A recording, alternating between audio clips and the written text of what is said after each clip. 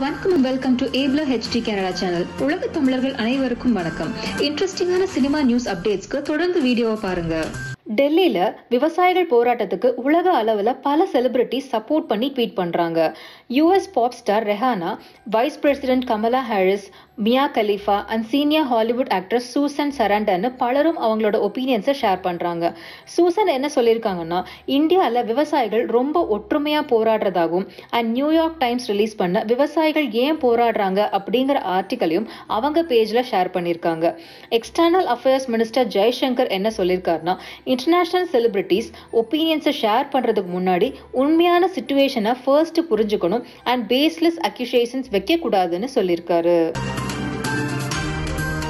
மறைந்த CM ஜெயலலிதாவோட life history படமான தலைவி படத்துல ஆக்ட் பண்ற கங்கனா ரனாவத் விவசாயிகளுக்கு எதிராக நிறைய கருத்துக்களை ஷேர் பண்ணிட்டு இருக்காங்க அந்த வரிசையில அமெரிக்கன் பாப்ஸ்டர் ரிஹானா விவசாயிகளுக்கு ஆதரவா போட்டிருந்த ட்வீட்டுக்கு ரிப்ளை பண்ண கங்கனா ரெஹானேவை முட்டாள்னு திட்டியிருந்தாங்க.